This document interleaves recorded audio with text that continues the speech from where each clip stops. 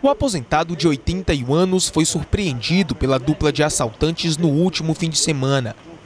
Os bandidos não estavam armados, mas conseguiram arrancar do pescoço da vítima um colar de ouro.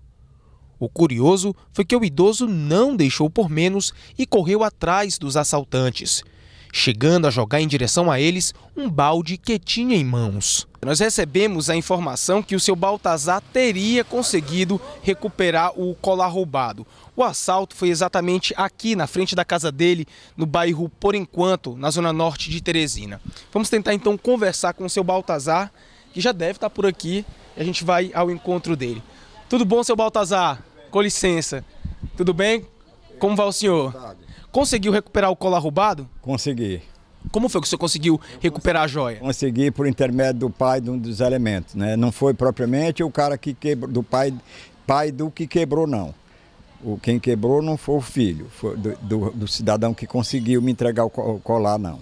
Os bandidos venderam o colar, o pai de um deles foi lá, comprou. É, o pai dele comprou e aí disse que vinha me entregar aqui. Aí, eu, aí depois resolveu entregar lá no segundo distrito. Aí entregou lá perante as autoridades. Foi lá. E esses assaltantes, eles foram presos, seu Baltazar? Só tem essa informação?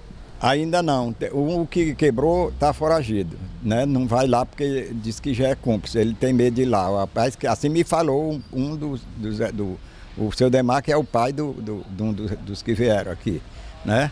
E então ele não vai lá, mas pediu para me livrar o filho dele, que ele não era tão cúmplice. Eu até fiquei um pouco do lado dele, porque o pai de família não manda o seu filho ser safado. Não manda. O filho é que vai. E seu Demar é um cidadão. Vai tomar mais cuidado agora, seu Baltazar? Não vai claro, ficar andando por aí com claro, colar de ouro, não. Claro que agora eu fiquei velhaco, né? Eu agora vou me afastar, vou quando eu estiver na beira da estrada que eu vejo.